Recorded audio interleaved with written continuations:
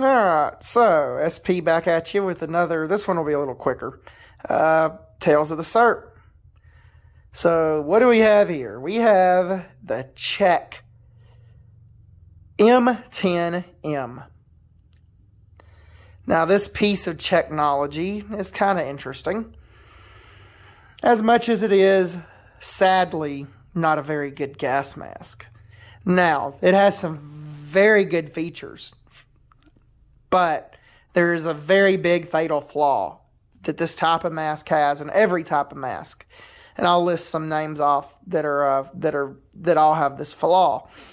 Basically, what had happened is in the late, I believe, early 60s, late 50s, might have been later than that, the U.S. wanted to develop a lightweight, filterless, quote unquote, gas mask. And the idea would be you would have a lightweight mask with internal filters that wouldn't stick out the side so they wouldn't interfere with aiming a rifle that much or using equipment, uh, using like radio equipment. And it would use two small cheek filters that were supposed to weigh less, they never did, than a regular full sized 40 millimeter NATO filter. This is in the US. And we adopted this mask. It's the M17 and M17A1. Now, in the Warsaw Pact and Soviet Union, they see, I'm sure, photos of this mask and go, holy shit, what a great idea.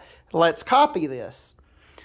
Well, basically, they copied it from photographs, essentially. So while the outsides are nearly identical in the way the masks are set up, the uh, Polish MP4, the uh, Czech OM10 uh, or M10, the uh, Bulgarian, oh God, what is it? PE or PD one.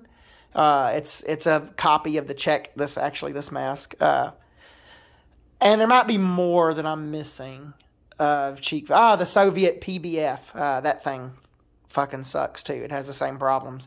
All these masks are cheek filter masks, and the thing with cheek filters is you cannot change them during a uh, in a combat zone per se. You cannot. You're stuck with the filters. I understand it's the same kind of with uh, with 40 millimeter NATO filters as most militaries issue one filter per mask.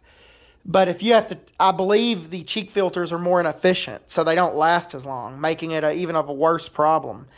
Uh, the cheek filters are a bitch to get in. I hear the American M17. I need to get one. I don't have one. I have an M9 and I have M9A1 and I have, of course, the MCUs. Uh, I have an M40, but I don't have a friggin' uh, M17 US gas mask, uh, just because I don't think a lot of cheek filter masks. And I got this one just because it was very cheap. I got it for like essentially eight dollars at a garage sale, and it had the whole kit with it. So. Uh, it's missing one uh, oral nasal valve, which is unfortunate. But this, I would never use this mask for real stuff anyway, so it's fine. Um, but yeah, uh, the quality of this mask is very high. So it's not a bad mask in that aspect. The Czechs really did well. Uh, it's just that this mask could use a 40 millimeter filter. It would be great and ditch the cheek filters. But uh, yeah, it's got a drinking system. Uh, you can see right here. It's got the straw. I don't know if I have it retained properly. I think you're supposed to loop it around this, but it always pops off. So I just have it right there. Uh, it's got a valve system fairly similar to the uh, M17. It says M10M there on the, the valve protector. It's got a voice emitter, just a lot like the US mask. A little different style, though.